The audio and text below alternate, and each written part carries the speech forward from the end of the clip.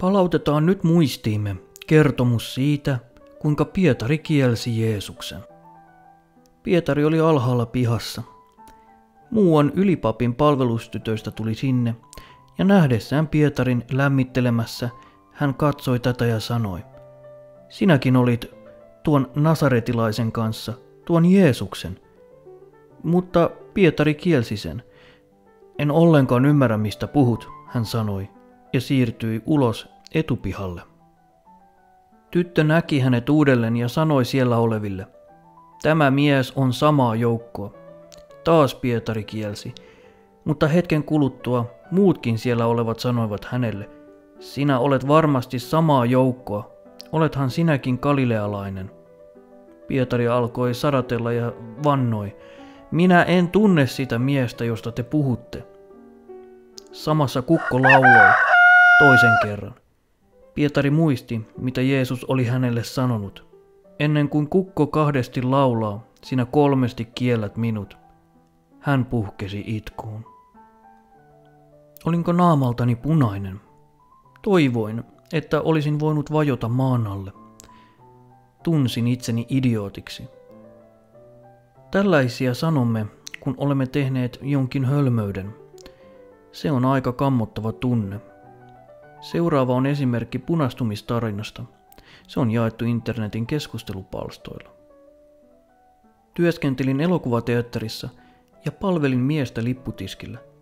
Olin nähnyt sivusilmällä karvaisen pään miehen polven korkeudella ja sanoin hänelle, että koiria ei saa tuoda elokuvateatteriin, ellei se ole avustuskoira.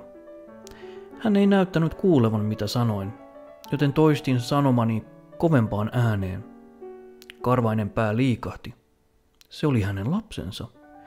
Elokuvan työntekijä todellakin saattoi itsensä noloon tilanteeseen. Me kaikki voimme nauraa tällaisille jutuille nautinnollisesti, mutta silloin ei tunnu kovin huvittavalta, kun itse teemme jotain typerää.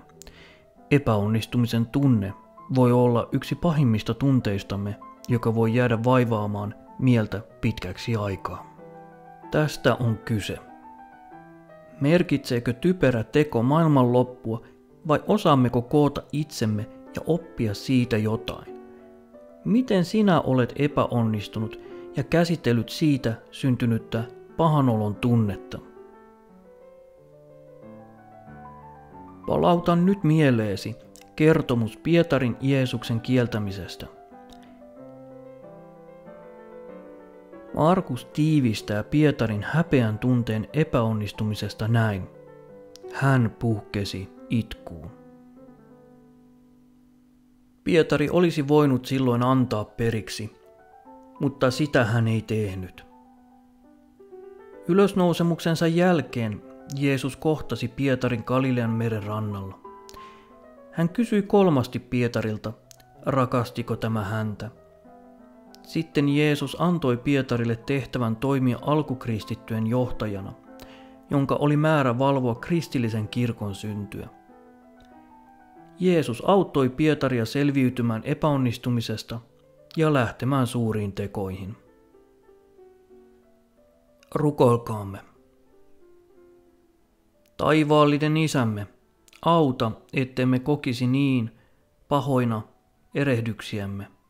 Osoita meille, kuinka oppia erehdyksistämme ja lähteä kohti suurempia asioita. Epäonnistuminen ei ole maailman loppu. Amen.